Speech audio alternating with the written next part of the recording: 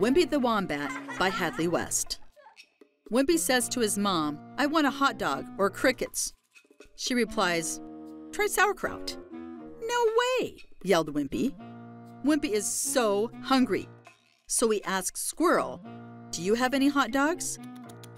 Nobody, nope, nope, said Squirrel. This is Wimpy, and he is a wombat. One day, Wimpy went to the hot dog stand. There were no hot dogs there. He wanted food. I'll find food one day, said Wimpy. Wimpy went home. He went to the fridge. He looked inside of it and saw lots of sauerkraut. Yuck! screamed Wimpy. He ran out the door. Out of the house went Wimpy. Wimpy looked for Mrs. Hedgehog. Surely she would have a hot dog. Hello, said Wimpy.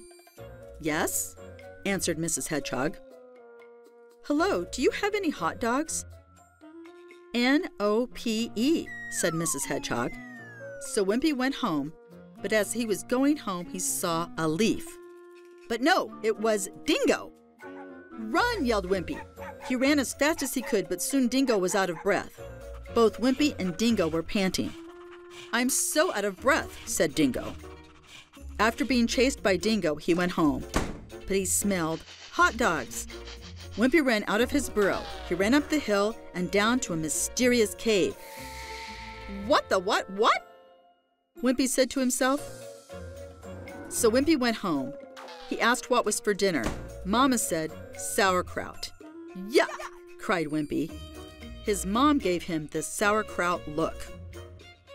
Fine, I'll try it, said Wimpy. So Wimpy tried it. Oh, yum, yum, yum, cried Wimpy. More, more, more, he shouted. Don't eat too much, said Mama. And he lived happily ever after. Generous support provided by the Betty Brinn Children's Museum and the Kiwanis Club of Milwaukee.